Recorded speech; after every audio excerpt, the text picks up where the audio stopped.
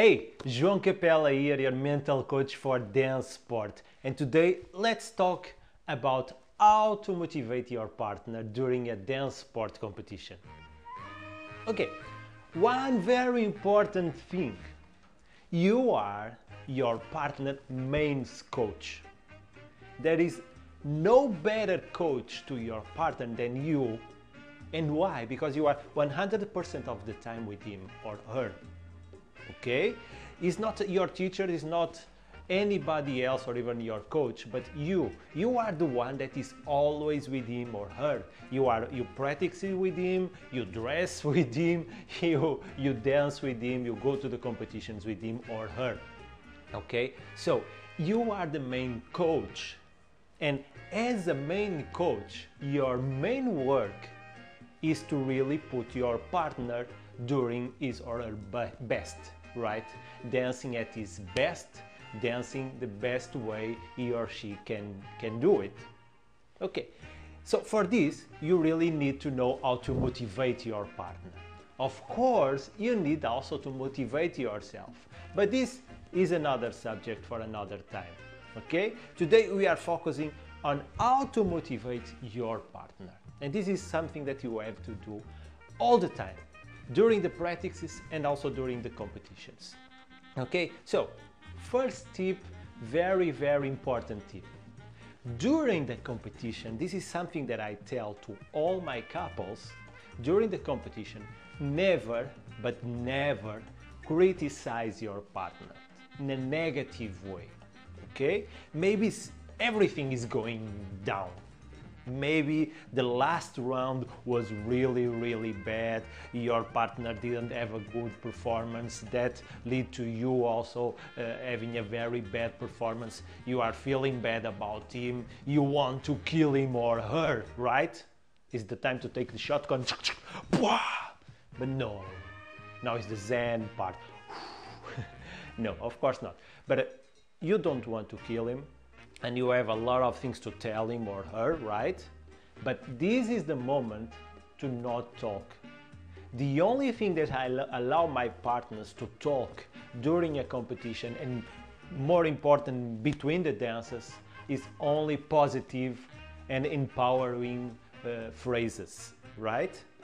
But you, you need to feel them.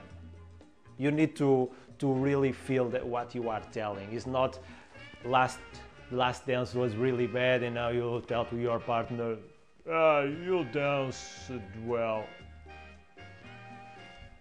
You are a wonderful partner and uh, I'm very happy to have you.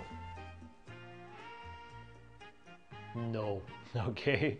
And you, you understood this. So, if you need if you, if you feel that you need to tell something to your partner during the competition, just tell them positive, but things that you really, really feel, okay?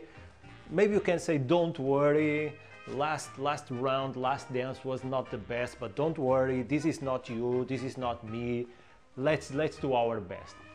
The, what's, what's gone is gone, this, that was the past, now let's perform better, you can do it, don't worry simple things and let's go okay?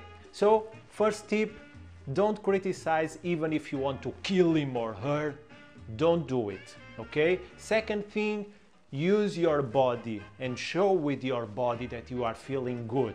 The last dance was bad but you don't go and sit this or even cry. Not do that because maybe you will affect your partner even more okay so you are together on this, you are on the same boat, so you, you have to use all the weapons to help your partner. And if you help your partner, if you motivate your partner, you also will motivate yourself. This is automatic. So the last dance was not your best, but keep yourself in a positive, in a strong position, heads up, smiling. Keep smiling if it is difficult because then your brain will start reacting and feeling better okay? And lastly, as I said on the, on the beginning, all of us behave in a different way. So you have to know how your partner behaves during a competition. And until now, with the couples that I've been working, I found two main patterns. There are the dancers that want to be alone, that want that need a quiet place before the competition, just to get focus, to, to relax or to get ready to, to, to the competition. And are the other dancers that need contact.